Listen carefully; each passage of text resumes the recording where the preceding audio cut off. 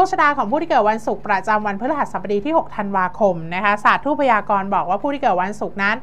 จะทำงานอะไรอย่าให้ความผิดพลาดเก่าๆมาขวางคุณได้ ดังนั้นใครที่บอกโอ๊ยตายแล้ว ฉันจะต้องกลับไปทำงานเกี่ยวกับตัวเลขบัญชีเนี่ยฉันเคยผิดพลาดมาก่อน อย่ากลัวก่อนที่จะทำงาน อย่ากลัวก่อนที่จะเริ่มต้นทำธุรกิจ และคุณจะประสบความสำเร็จมาพูดถึงเรื่องของการเงินนะคะผู้ที่เกิดวันศุกร์มีความสามารถพิเศษในการหมุนเงินอยู่แล้ว หมุนเงินให้ดีค่ะ และที่สำคัญนะคะหมุนให้เกิดประโยชน์แก่คุณและคนใกล้ตัว ด้านความรักนะคะคนที่มีคู่อยู่แล้วระวังการถูกกีดกัน จากผู้หลักผู้ใหญ่ไม่ฝั่งคุณก็ฝั่งคนรักของคุณนั่นเองค่ะ